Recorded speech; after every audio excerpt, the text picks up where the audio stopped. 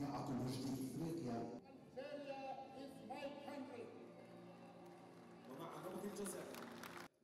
لم تكتفي فقط بالاجابه على المشاكل انطلاقا من قناعتنا الراسخه بانها السبيل الوحيد والامثل لبناء مستقبل The demographic shift we are experiencing characterized by a youthful and dynamic population and the resources that we have افتتاح الطبعة الثانية للمؤتمر الإفريقي للمؤسسات الناشئة